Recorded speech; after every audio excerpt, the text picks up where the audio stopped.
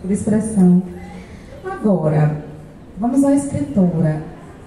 Porque é uma escritora e é uma educadora, né? É, eu, eu, vou te fazer a mesma pergunta que eu fiz ontem para a Sam. Porque é, vocês têm uma trajetória, claro, cada um, todos, todos os seus percursos distintos, mas esse ponto de, esse lugar que é a educação, né? a sala de aula, a educação, a formação é, de outras pessoas, né? É, e como é que como é que brota a escrita? Né? Essa contadora de histórias, ela é anterior à professora ou a professora fez surgir uma contadora de histórias?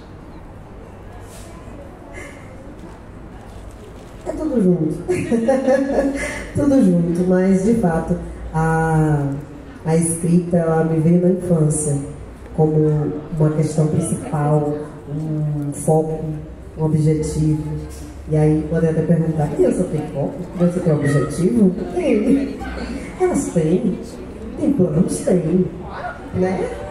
E aí eu tive essa escuta e essa leitura cuidadosa por parte de uma professora faço questão sempre de falar o nome dela, a Josiane Conceição, é uma mulher negra da periferia de Salvador e que estava ali numa escola particular, ganhando seu pão para alimentar sua família por diversos, diversas formas, né? não era só o alimento pão, mas o alimento de condições melhores, de esperança, de